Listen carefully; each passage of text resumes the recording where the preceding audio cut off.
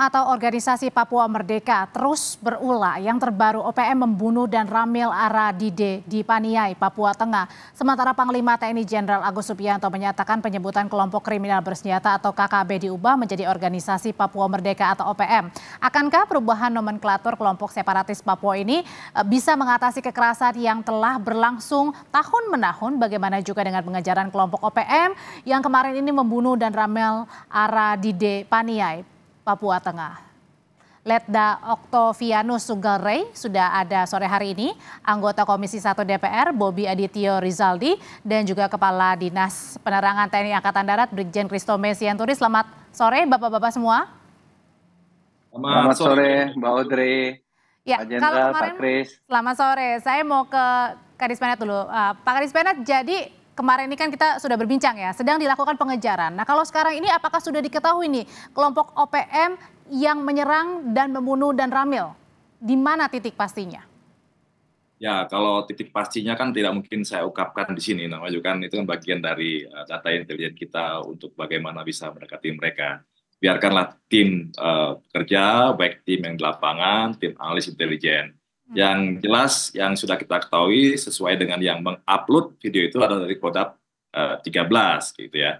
Nah, jadi kita akan terus telusuri kan kita akan tracking di mana dia uh, yang siapa yang mengupload uh, video ini pertama kali termasuk kita penjajakan menggunakan citra satelit, menggunakan drone dan sebagainya termasuk informasi dari masyarakat hmm. yang tentunya uh, masyarakat ini sendiri tidak menghendaki adanya gangguan dari kelompok OPM ini yang tadi disebutkan bahwa kelompok OPM ini bukan masyarakat setempat. Kalau masyarakat setempat itu karena dia sangat dekat dengan almarhum uh, Octavian Sogere ini hmm. tidak mau dia melakukan seperti itu, tapi karena terpaksa uh, akhirnya dia harus tutup mulut karena di bawah ancaman kelompok OPM.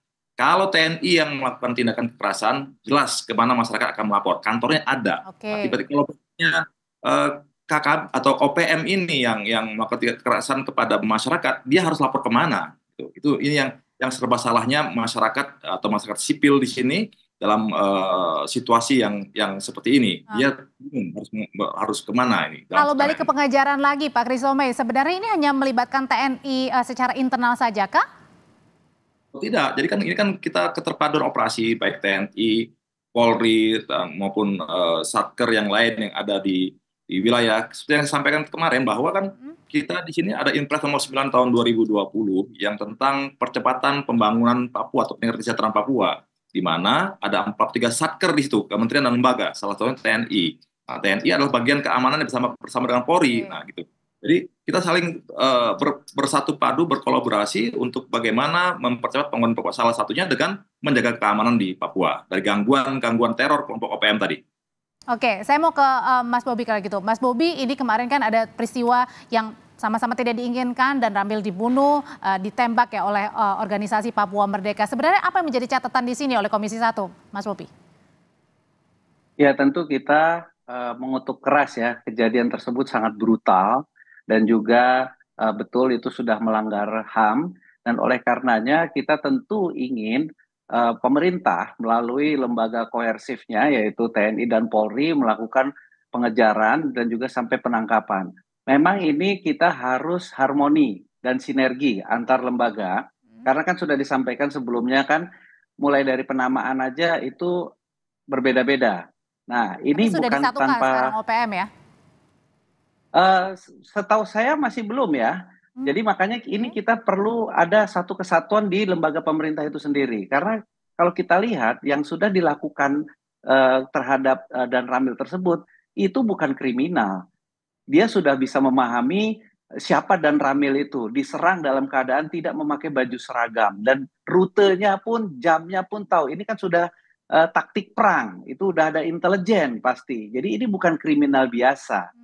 Nah oleh karenanya karena bukan kriminal biasa ini sudah kombatan militer ya tergolong ya perlu apa memang itu Pak Bobi kalau gitu kalau dibilang tadi uh, tergolong bukan kriminal biasa ini sudah kombatan militer. Kalau kita lihat yang ada di video itu jelas video itu itu bukan senjata pencurian seperti maling ayam, bukan itu. Itu adalah senjata perang dan itu perangnya itu bukan hanya uh, spek penegakan hukum. Jadi senapan sama-sama senapan, tapi kalau kita lihat senapan yang dipegang uh, oleh uh, yang ada di dalam video tersebut itu senapan perang yang ada otomatisnya. Nah, ini yang kita perlu kesepahaman. Karena iya. tentu namanya operasi militer dengan operasi penegakan hukum itu beda penindakan dan uh, penanggulangannya. Nah, ini kita mesti satu paham. Jangan sampai nanti TNI uh, mengejar tetapi dalam konteks penegakan hukum ngepungnya kelamaan. Lain kalau militer itu annihilate, dia menetralisir. Kalau perlu bom, kirim, pakai helikopter, helikopter bersenjata. ada operasi militer atau tadi penegakan hukum, Pak Bobi?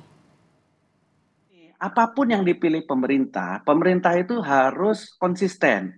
Kalau memang misalkan uh, polisi yang di depan, TNI diperbantukan, dia jelas pembagiannya bagaimana. Kalau ini kan kita lihat yang diserang itu uh, TNI dan Polri, tetapi uh, okay. ranahnya penegakan hukum, tetapi kemampuan operasi militernya tidak bisa. Tidak ada di pernah satu roket pun dari helikopter Apache ditembakkan di sana kan nggak pernah.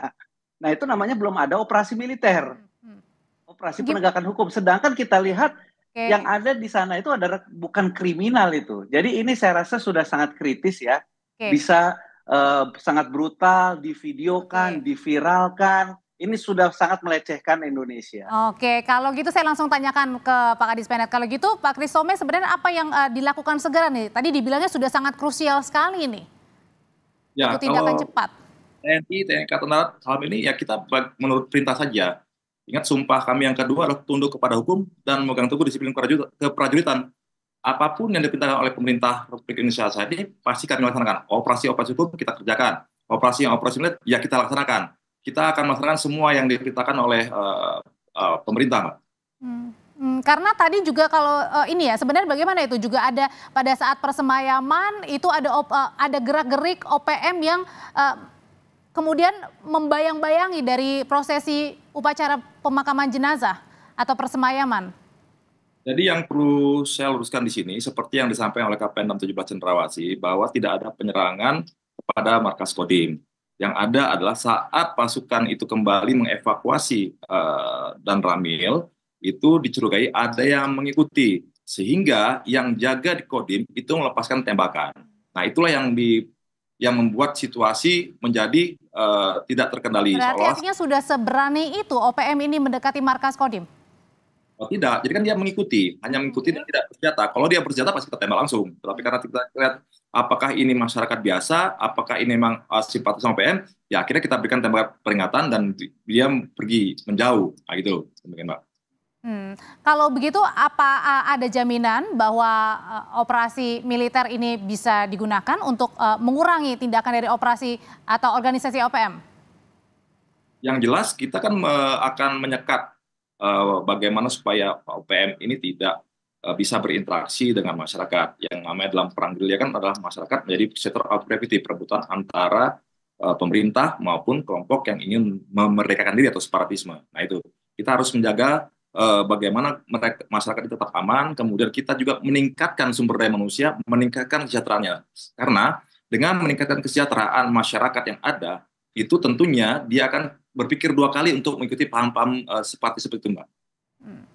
Oke, kalau gitu dorongan dari Komisi 1 DPR seperti apa Pak Bobi kemarin dan Ramil sudah ditembak, dibunuh, kemudian juga ada memata-matai pada saat persemayaman.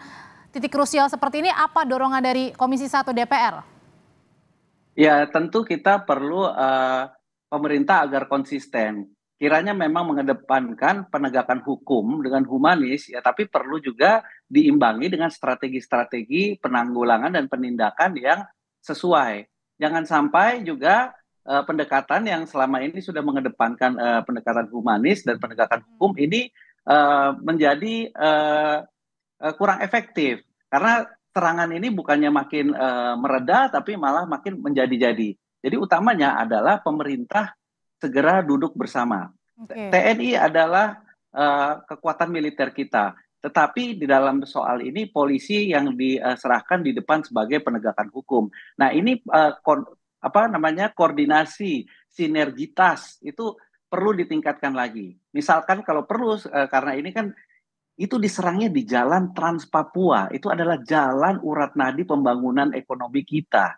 Nah, ya kalau perlu di sana akan lebih uh, harus ada lebih banyak lagi patroli dan bukan hanya patroli saja tetapi patroli yang juga memiliki kemampuan untuk tempur juga. Karena ini Karena akan lawannya tadi juga membuat pada, senjata gitu ya Pak Bobi ya. Iya. Uh, semua ini bukan masalah label-label biasa ini ini ada ada ada ada turunannya yaitu bagaimana rules of engagementnya atau bagaimana mereka engage terhadap uh, pengejaran-pengejaran. Jadi ini akan ada turunan SOP-nya. Nah ini yang perlu disiasati dan juga di mungkin dirubah. Kalau di depannya tetap penegakan hukum, bagaimana? Tetapi kalau operasi militer ya sampai saat ini saya masih melihat pemerintah tidak memilih ada operasi militer di situ. Hmm. Nah, tetapi ini ya perlu juga uh, ada uh, alternatifnya. Jangan sampai hmm. tidak dirubah pendekatannya, kejadian berulang-ulang sampai nanti akhirnya korban akan menjadi lebih banyak bukan hanya di instrumen pemerintah negara, tetapi juga akan merembet ke masyarakat sipil. Baik, kalau gitu yang uh, terakhir, uh, Pak Kristome sebenarnya sosok dan Ramil Aradide ini uh, bagaimana? Soalnya kan disebutkan bahwa uh, almarhum ini adalah yang juga memimpin jalannya pembangunan. Nah besok juga bagaimana dengan prosesi untuk uh, pembawaan jenazah ke rumah duka? atau ya, keluarga? untuk pemakaman dari almarhum dengan dua infanteri Aircraft Ray ini kan akan dimakamkan pada hari Minggu karena masih menunggu pihak keluarga. Uh, jadi kita akan memberikan penghormatan secara militer, pemakaman secara militer, uh, penghormatan terakhir kepada uh, beliau sebagai pahlawan yang telah gugur melaksanakan tugasnya uh, dalam mempertahankan NKRI, dalam meningkatkan kesejahteraan Papua. Jelas, uh, seperti yang saya pernah sampaikan kemarin bahwa beliau ini dibidik karena mereka dialah yang memimpin bagaimana pemilihan teritorial di wilayahnya. Dia cukup dekat dengan masyarakat seperti diakui oleh uh, gubernur PJ gubernur uh, Papua Tengah juga menyatakan demikian. Uh, dialah yang menggerakkan program-program teritorial bagaimana mempercepat pembangunan di Papua. Dia ingin mensejahterakan masyarakat binaannya di wilayah itu. Setelah yang jelas fokus kami, fokus TNI Angkatan Darat saat ini tetap bagaimana meningkatkan kesejahteraan masyarakat Papua.